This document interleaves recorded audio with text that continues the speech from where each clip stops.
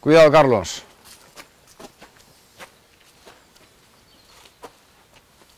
Es que es un tema, es extraño que el un lugar más, más significativo de la Pasa, pasa, Tramontana- pasa, pasa. Damos una mano. Vamos para allá que nos van a poner una silla y así te sientas tranquilamente. Aquí al sol. El que pone aquí, pues vea, vea, vea, vea. Para'm aquí en el Soleillet.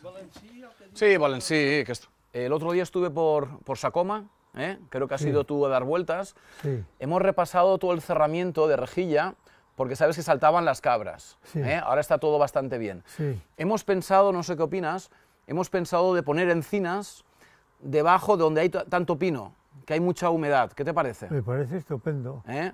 Es lo que hay que hacer en el futuro, Vale. como se financió los pinos por el gobierno balear, ahora Sí. tiene que negociarse la colocación de, de encinas. Vale, vale. Pues entonces eh, lo que haremos será poner planta pequeña y quizás también lo haremos con bellotas. Y, ¿eh? Bueno, y además inventar, inventar- evitar que entren las cabras, que Eso, eso es determinante. Hemos planteado, puesto plantera pequeña en Sontorrella, en Son- Sontorrella, que se la han comido a las cabras Sí, sí. sistemáticamente. Pero plantaste que eran 60.000 plantas al final.